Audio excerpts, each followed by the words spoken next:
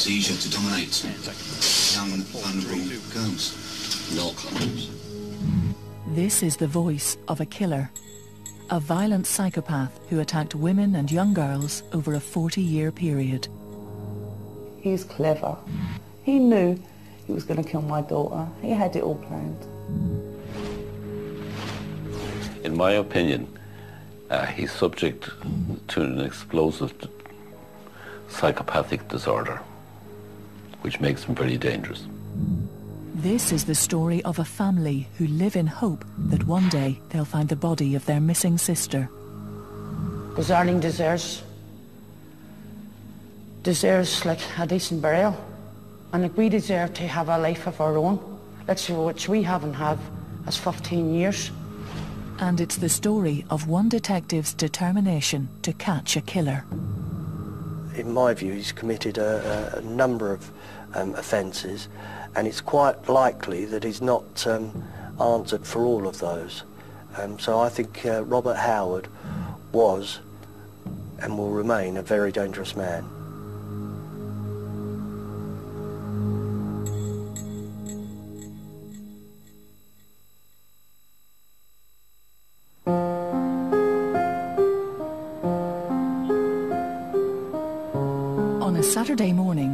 April 2001, 14-year-old Hannah Williams left her home in Deptford in London to go to the local market. She was never seen again. She was very kind and, and loving and funny and loved music, dancing around, singing on her karaoke. And the amount of times we used to always go out together, looking in shops. Mum, can I have this? Mum, can I have that? yeah, um, that's it really. She's just 14 year old. Hannah had been sexually abused by a former boyfriend of her mother's when she was a very young child. She was again described as a vulnerable child. She had learning difficulties, um, but she obviously was very much loved by her mother. She vanished, van almost vanished into thin air.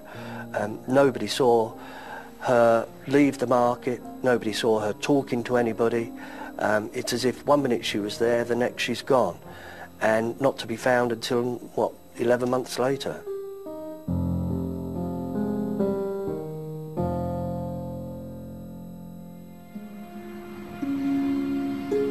Hannah's body was found in a densely wooded area in Kent. She had been murdered. A rope was found around her neck. Little were we to know then that, you know, I was going to be involved in a very complex inquiry. A very, very difficult job. Very, very difficult because we had no idea who Hannah was at that time. Um, and you can imagine the, obviously there were going to be no witnesses, there's no uh, housing overlooking the scene, um, but what we knew from this location was that the person responsible must have had local knowledge. I mean, I'd served here as a police officer uh, a number of years ago, and it was only on the, in the event of a suicide taking place that I even knew of the location beyond that railway bridge because it was just dense woodland. The discovery of Hannah's body happened quite by chance. The area was being excavated and cleared in preparation for a new rail terminal to accommodate the Eurostar train. A workman made the gruesome discovery. On that uh, Friday morning, it was tipping down with rain, obviously because of um, heavy traffic going in and out to clear the area. Um, it was literally almost knee-deep in mud. Um, you know, it was quite daunting because the thought of getting forensic evidence from that scene was um, probably unlikely and, and in, in, time would prove to be the case. I mean, we did not get forensic evidence from that. But what we did know or suspected from um, early on was that that was a deposition site. That is not where Hannah was murdered. Hannah was brought here in a blue tarpaulin with rope brown um, and left at that location. The pathologist gave the cause of death as uh, strangulation because there was a rope um, around the, the young girl's neck uh, and that was the cause of death. We obviously published, there was a quite a big um, amount of publicity, um, both local and, and national uh, news, and a reporter from South London actually phoned our incident room um, and said he thought it was Hannah Williams, um, that the body was Hannah. We obviously interviewed him quickly and he said that the clothing that we'd described and had put out um, matched that of Hannah and he'd been working um, over the months with Bernadette, Hannah's mother, in trying to push the publicity in order to try to locate Hannah. Um, and that really was our breakthrough. I think if I had a weak heart, I think I would have been on the floor because I just like slung myself back in shock. Um, and I, I was just saying, oh my God, oh my God. Having identified Hannah, Kent police painstakingly retraced her last movements. They soon established that on the morning she went missing, she received a short call on her mobile phone from a woman who lived close to where Hannah's body was found. This woman had known Hannah's father some years previously and had in fact known Hannah for um, a number of years. But she said she didn't make that phone call because she was a night worker, a care worker in a care home, that she would have been in bed asleep at that time. So she was asked who did make that phone call. And she said, well, the only other person that could have had access to a phone was a man named Robert Howard. Robert Howard was originally from Ireland he was a drifter, and when police checked his background, his criminal record rang alarm bells. He immediately became a key suspect for Hannah's murder and was arrested and brought in for questioning. During the period of time he was in our custody, he, he said nothing at all, just replied no comment to each question. What would you like? Having sex with underage girls? No comment. Are you aware that having sex with 15-year-old girls illegal in this country. No comment. A day after your birthday last year, she was abducted and murdered. Her body was found last Friday. Her parents have been wondering where she was for last year. She had no burial, she had nothing. She was left there. That's what we're investigating. Do you understand the importance of that? No comment. How, how many times have you met Hannah? No comment. How many times have you met her at the, the Northfleet address? No comment. There still wasn't enough to charge Howard, and he was released. However, a search of his partner's flat and some diligent police work would uncover the crucial evidence needed. What we did locate of significance was a video showing Hannah Williams in Robert Howard's flat in South London on the 28th of February, um, so some six weeks before she'd gone missing. So now we could prove a connection between Robert Howard and Hannah quite often individuals who engage in serial uh, damaging behaviours take trophies along the way, take mementos along the way, and make recordings of some description um, of their victims. So at some stage, uh, when they either are unable to reoffend, they can fill the gap, they can fill the need um, to be gratified in some way by watching a, a video such as this. So it's, it's very, very important. The police had linked Howard to Hannah Williams. Now they needed to link him to the scene. While investigating Howard's movements in London, they spoke with a young girl who claimed Howard had indecently assaulted her. The same girl told how Robert Howard asked her to go swimming. He brought her to the Blue Lakes. She started getting undressed, saw Robert Howard looking at her, changed her mind and said she didn't want to go swimming. But crucially, from our point of view, she, we videoed her down here, and she pointed out to the um, railway tunnel and said Robert Howard asked her to go through there with him. And she said she looked through and it was dark and she thought it was um, quite scary, so she wouldn't go. But Robert Howard did. And he was, um, he'd gone through there and remained there for about 20 minutes. Now, with that evidence, we could show that not only did Robert Howard have local knowledge, but sometime after the disappearance of Hannah, he would have been within feet, yards, of where Hannah was later to be found. The ultimate form of power and control is death, and uh, in that sort of scenario, uh, the individual who has killed someone um, will have had his need totally assuaged. That, in his mind, will be a successful crime, and he will return again and again to the site of a successful crime because uh, essentially there uh, lies the essence of his offending uh, and the, the ultimate accolade of his offending.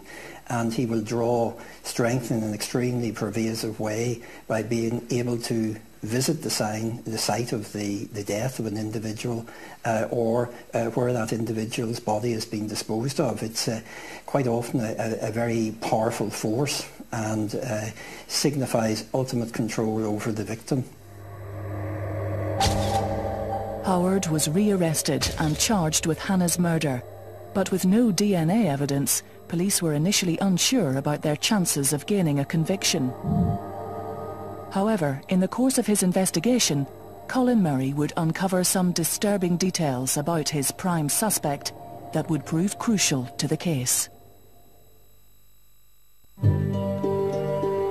In October 2003, Robert Howard went on trial charged with the murder of South London teenager Hannah Williams. Prosecutors applied to use a new legal technique to introduce Howard's criminal past to the jury. It was called similar fact evidence, and as a result, the trial was to be one of the most unusual in British legal history. But what you're actually looking for is the similarities between jobs, between crimes, um, and the, the, the less or the weaker the, uh, the evidence, the stronger the similar fact evidence must be, almost akin to a fingerprint, really. But the technique was relatively untested and doubts remained about securing a conviction. Obviously, we're never confident, anything can go wrong, but similar fact evidence hadn't been used in, in a murder, as I understand before. Um, it would be up to the trial judge to actually even agree whether that could be admitted. Um, if it couldn't be admitted into court, um, how damaging would that be? So there were a lot of hurdles to overcome. In the end, the judge allowed the evidence to be introduced. Evidence that was gathered by Kent Police's complex and thorough investigation into Robert Howard's life. During the trial, the true extent of Howard's criminal past was revealed.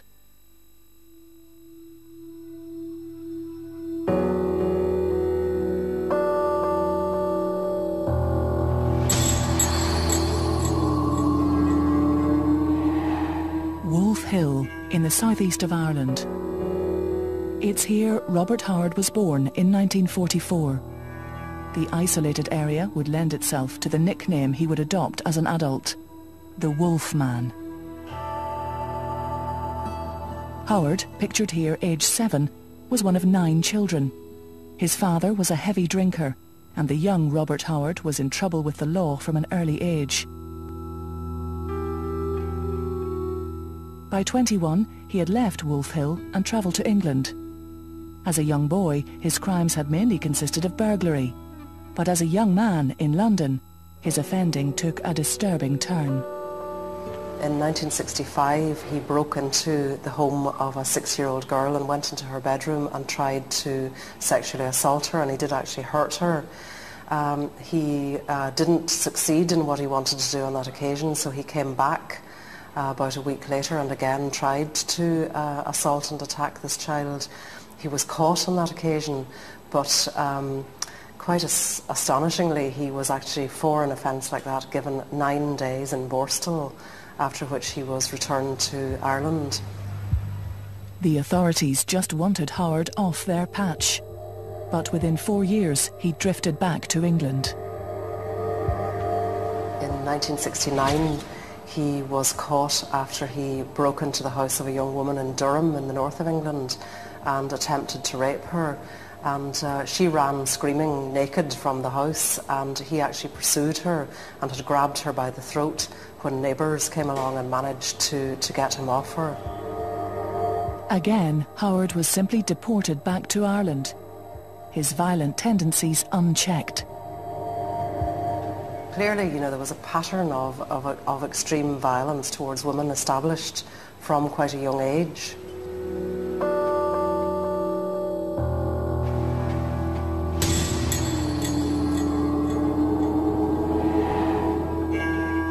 The coastal holiday town of Youghal in Ireland was a popular spot with tourists in the early 1970s. The local police sergeant remembers it as a safe and quiet place to live. However, one night in 1973, the calm would be shattered. We got a report at the Garda station that a lady had been uh, assaulted in her home the previous night. And uh, I went to the scene with a colleague of mine, and uh, it wasn't far from the Garda station. And we discovered that a lady, she had been living on her own, a 58-year-old lady. Uh, she had her own hairdressing business, and um, during the night, she had, she was, she woke up and found an intruder in her bedroom. And uh, as there was, there was a, a, struggle, and she ended up anyway being raped. Uh, she was seriously injured. He took the keys of her car plus some money and um, he left. But before he left, he forced her back up the stairs and tied her onto the bed. Um, he, he, her mouth was gagged and uh, so that she couldn't make noise or raise the alarm. And in the struggle, she received, she suffered a broken ankle. The ensuing manhunt led police to a guest house nearby. The owner said there was one guest who raised suspicions. During a search, the police discovered that the guest had been using a false identity and had checked in under the name Leslie Cahill. For the time he was in Youghal, he was known as Leslie Cahill. We subsequently discovered during the morning and from uh, we found in his bedroom that his correct name was Robert Howard. We confirmed this with the with his description and we discovered that this man, Robert Howard, had recently been deported from England after having committed a serious sexual offence over there. By concealing his real identity, Robert Howard had managed to gain a job and find somewhere to live without anyone knowing about his past. Now, with the police on his trail, he fled on a flight to Dublin. But police were waiting for him we realised that we're, we were dealing with a very dangerous man. I will always remember Robert Howard. Um, he was a person that you wouldn't forget when you'd meet him. Howard was charged with rape and burglary, and while on remand in Limerick prison, he was assessed by a psychiatrist. I went down to Limerick and get shown to see him in a cell. Uh, and I meet one of the most courteous, polite people I've ever met in my life before or since. Now, my experience of people who are in prison and people who are usually chronically violent and are prone to this kind of thing, that they're crude and, and scary. This guy wasn't. In fact, I began to wonder, could I be seeing the wrong person, or should this guy be in prison at all? Howard confessed to his crimes, and he gave the psychiatrist an insight into the darkest side of his nature. I think he has two extremes in his personality. I think he has a very nice side and a very nasty side, an explosive, dangerous side. It fits in with personality disorder of a severe type, and because it's criminal, what you call sociopathic or psychopathic, yeah, it fits with that disorder.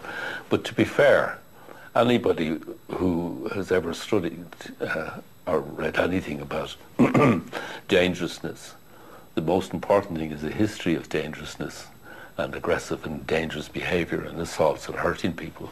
And this guy's history was full of it. Dr. Dunn's report to the court was unambiguous in his assessment of Robert Howard. He advised they lock him up for good. I would have said that he was, in all probability, a dangerous and explosive psychopath. And I would also say that in my whole lifetime, practicing psychiatry, there would be very few people that I said that about, if indeed I said it about anybody else. But in the event, Howard was given 10 years in jail. He would serve just seven. By 1981, he was back on the streets. My colleagues who did also have contact with him, we felt that we hadn't seen or heard the last of Robert Howard.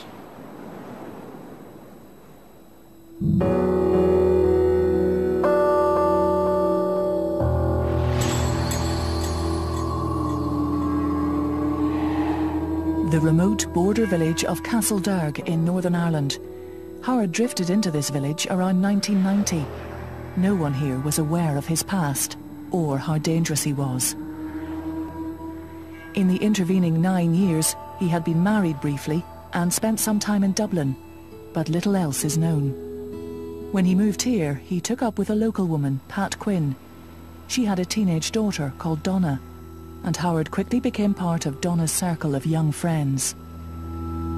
Mr. Howard appears to have identified a, a, type of vulnerable, impressionable individual who perhaps had a very dull life, who perhaps up until the point he came into their lives had a very unfulfilled life. Um, and he would be aware of the, the deficits and deficiencies, not only in that person's life, but that person's character. And he would very, very quickly um, sweep in to fill the deficits and the deficiencies in that person's life. He set up home in a flat on Main Street. Gone was the old Howard pattern of impulsive burglaries and rape. Instead, he groomed youngsters, encouraging them to come here and party. Among them was a teenage runaway. He was nearly 50. She was just 16. Howard immediately, again showing the cunning which had been a pattern with him, spotted that she was a young girl, you know, who was without parents and, and wanting a, a kind paternal figure in her life, and he pretended to be that person. One night in 1993, Howard tricked the young girl into coming back to his flat. Her memories of what happened next become a bit hazy. She remembers having uh, a very serious headache. She remembers him giving her pills. And the next thing she remembers is waking up the following morning naked in his bed and that Howard was coming on to her. And she was horrified because that was not the way she saw him at all. And um, she tried to get away from him and he said, oh, that's not the way you were last night and proceeded to become very violent towards her. And basically he held her captive there for three days. At one stage he put a noose around her neck. Uh, she had strangulation marks around her neck. She was terrified for her life. And in fact, uh, whenever she got an opportunity, she ran upstairs and uh, there was a room in the house where he kept caged birds and she actually climbed out of the window in that room.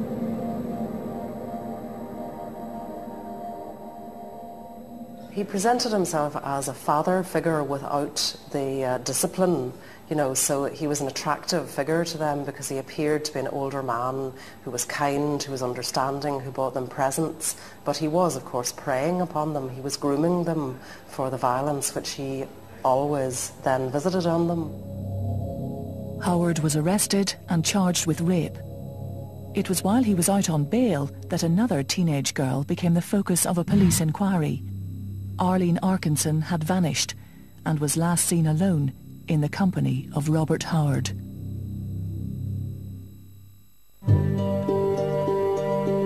Robert Howard was standing trial for the murder of 14-year-old Hannah Williams in 2001. The police investigation into Howard unravelled a life of violence that would eventually lead to murder. The prosecutor's case relied heavily on this evidence which meant Howard's shocking criminal past was revealed to the court. Arlene Arkinson was an average 15-year-old schoolgirl from the border town of Castlederg in Northern Ireland. You never a dull moment. if you were crying, she would have made you laugh. It's just... It's funny, you look back at her and... Mm -hmm. Always doing her hair now and her makeup and... Always on the go, wasn't she? Aye, always on the go. She'd lost her mother at a very young age. Uh, she'd been vulnerable. She hadn't had a very settled upbringing since her mother's death. And uh, despite all that, her teachers in school said that she was a talented girl. She was artistic. She was willing to learn. She, her friends describe her as being a, a lovely girl, a bubbly young girl who was friendly and loyal to her friends. You know, she was, a she was a good person. Arlene found herself in Howard's company one summer evening in 1994.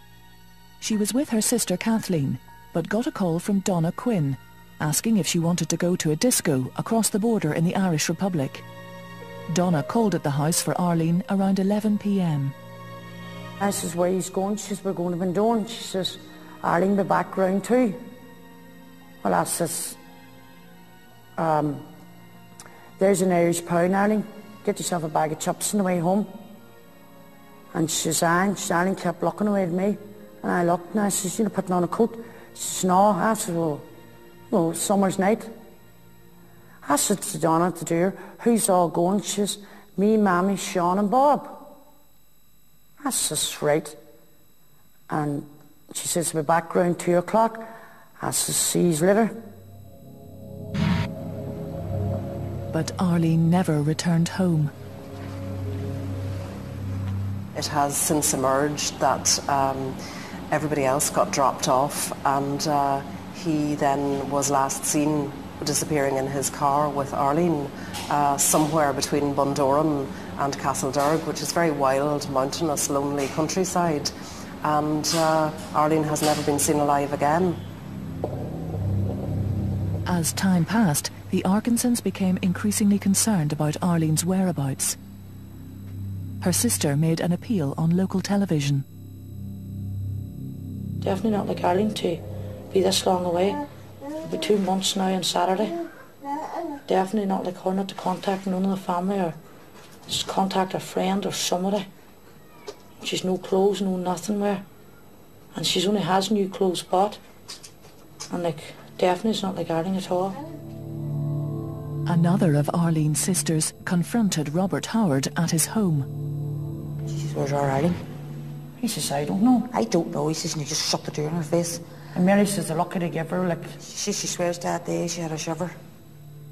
And she, remember she said to you then, mm. a week later, I'm telling me, she says, Arlene's dead. She's up by there, looks, you know what I mean? What was wrong with That was just an airy feeling she had when she banged that door that day. Their fears of Howard's involvement in their sister's disappearance were deepened when they spoke to a friendly policeman. She says, do you realise how, who you're dealing with here? And I says, you on about? Like I was only 20, what I know?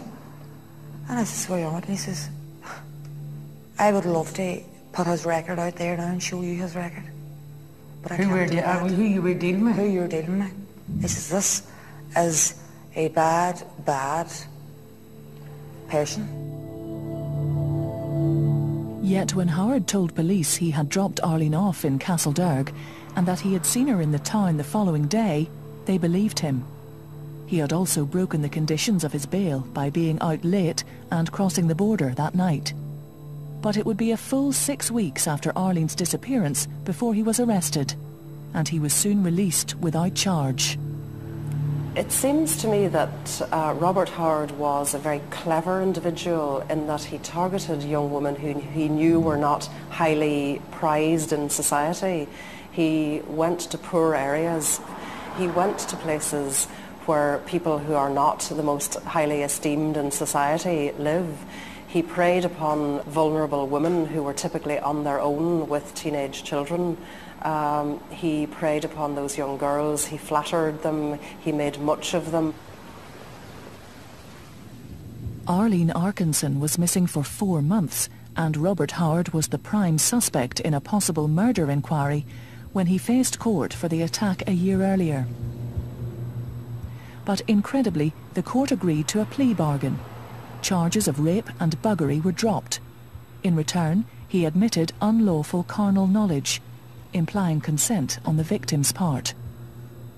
The judge ordered a psychiatric assessment of Howard. He said that if the report was satisfactory, he'd be spared jail.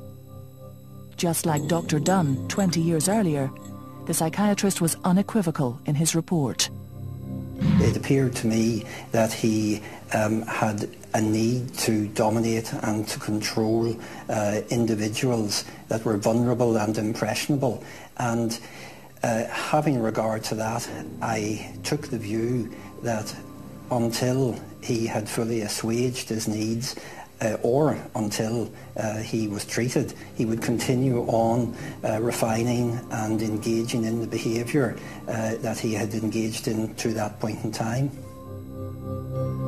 Crucially, Dr. Bones wasn't told that a rope had been used in the attack on the young girl. It was a critical piece of information and would have clearly established Howard's pattern of offending. He had a, a need to make an impression on impressionable individuals and he gained considerable gratification from that. Um, that was the element of his uh, power over the person. But uh, he also had to have control over the person before he moved on to any form of sexual behaviour. And to have ultimate control and power over a person in that situation, you need to have the capacity to physically disable the individual. Um, so that's the issue of the rope was very important. But Robert Howard walked free with a suspended sentence and the judge told him to stay away from teenage girls. I was surprised because, uh, I, as I've already mentioned, I felt that this individual fitted uh, a profile uh, of pervasive deviant needs that would continue uh, if he was not checked, if he was not treated, if he was not closely monitored uh, into the foreseeable future.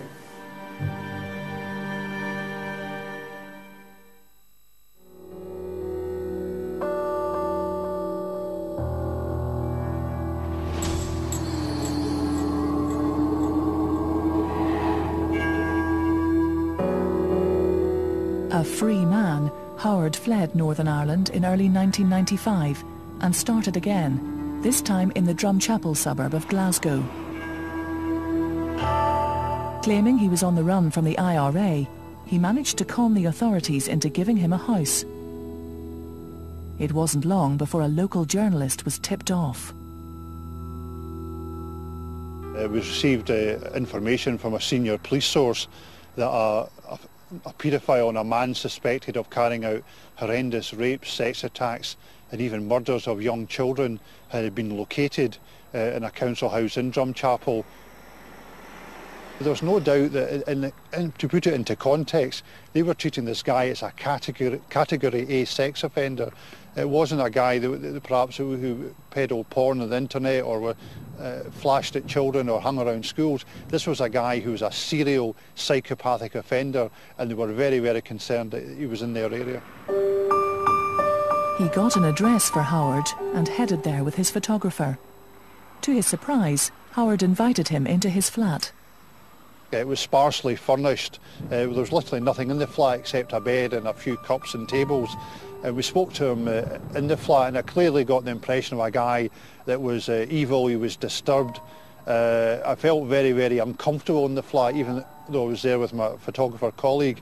Although I've been in some tricky situations in the past and some dangerous situations, I felt distinctly uncomfortable uh, being in the house with him. One of the things he did when we got into the house was he locked and snibbed the door which uh, made me feel very uncomfortable. And to be honest with you, once we'd exchanged a few words, I'd established he was Robert Howard and uh, got a few comments from him. We quickly left the house and went back to the office. The newspaper carried the story on the front page.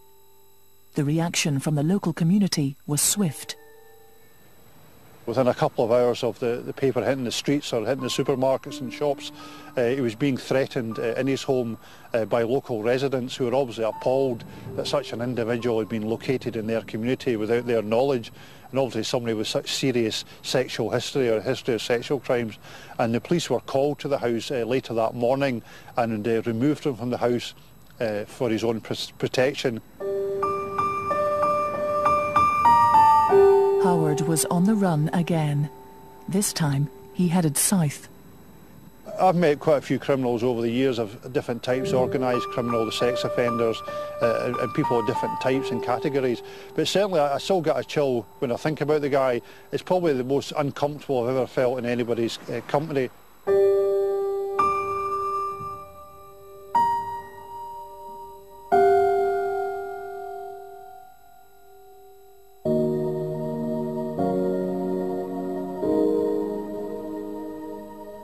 Court was told how little else was known about Howard's movements in the late 1990s until he eventually settled in southeast London, carefully selecting his next victim, Hannah Williams.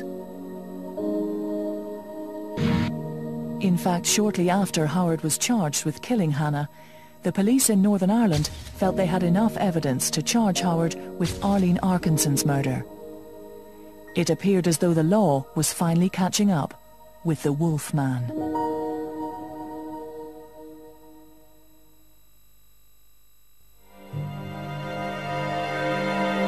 At Robert Howard's trial for the murder of Hannah Williams, his shocking 40-year criminal record had been revealed to the jury in great detail.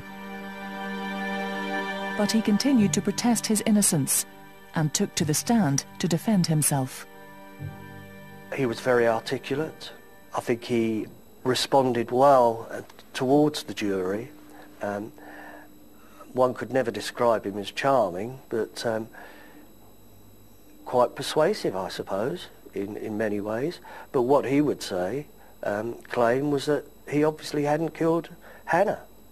Um, he explained how he knew her, how he'd met her with um, his partner in uh, Deptford Market just by chance one time, um, denied ever making the telephone call, um, but we put it to him that he was responsible and he denied it throughout.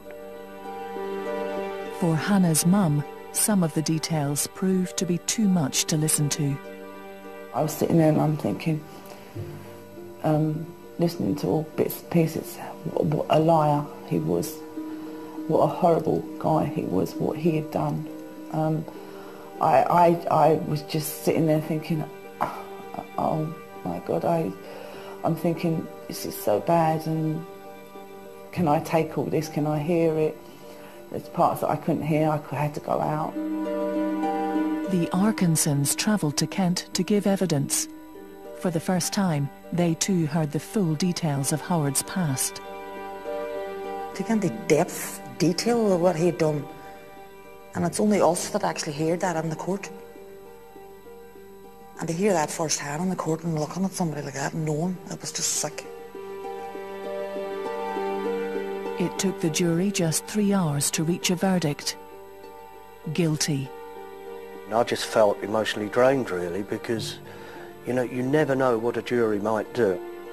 You know, it's difficult but quite an emotional time for everybody because this was a, a particularly, I mean murder is bad anyway, but this was horrendous. This was a young girl going about her business, um, you know, with probably not a care in the world at that particular time.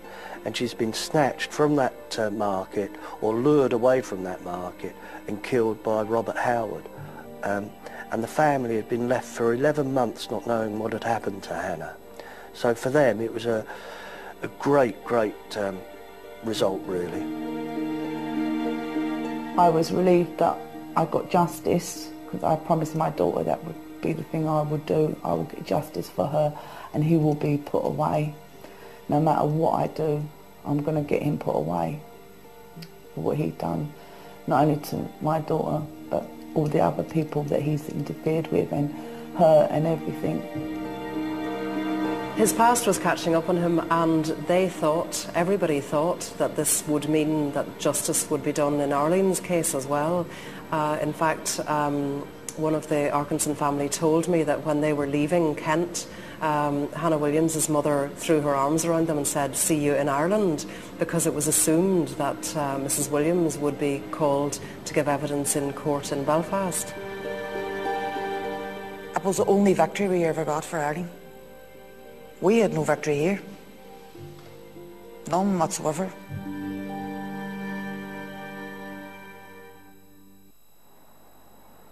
In the summer of 2005, Howard stood trial in Belfast for the murder of the missing Castlederg schoolgirl Arlene Arkinson.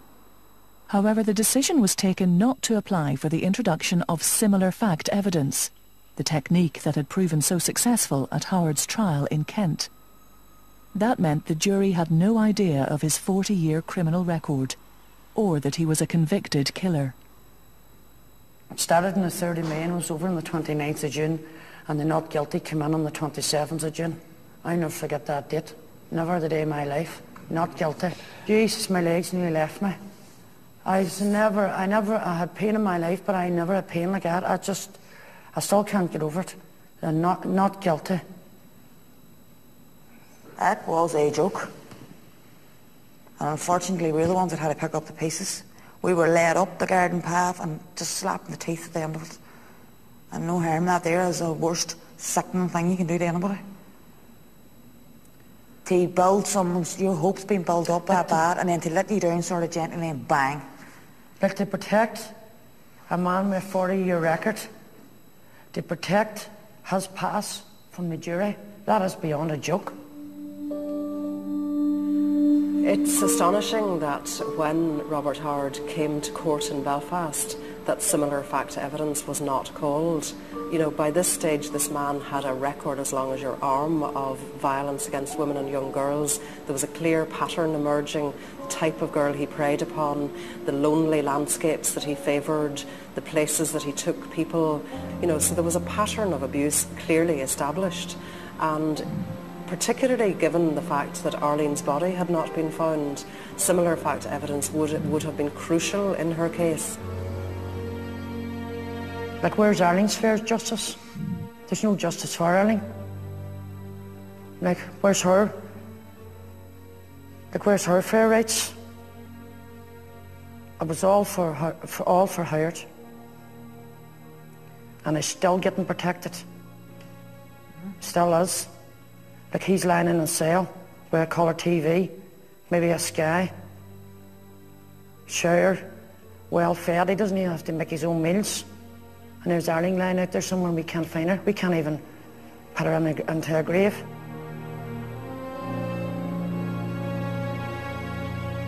Robert Howard is currently serving life for the murder of Hannah Williams here in Frankland High Security Prison in Durham.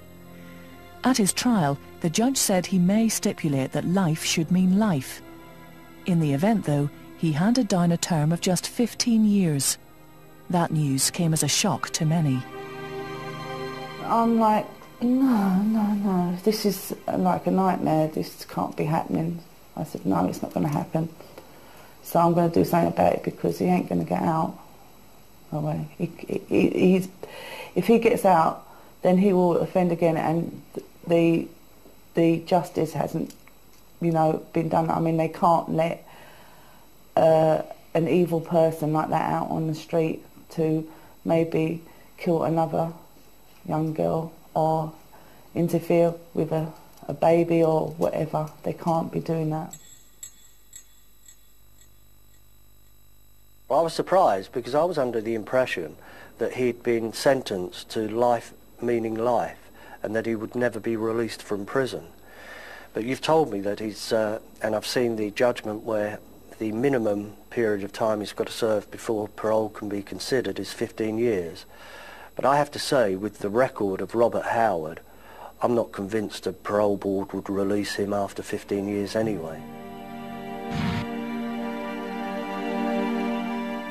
At the end of 2008, the Arkinson family suffered further heartbreak when their father died.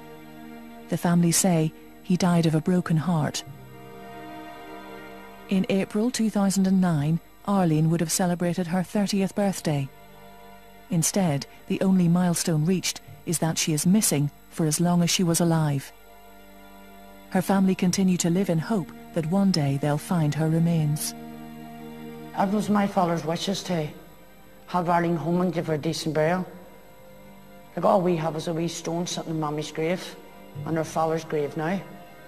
But we have to carry on and get justice for Arlene because Arlene deserves deserves like a decent burial and like we deserve to have a life of our own literally which we haven't had as 15 years.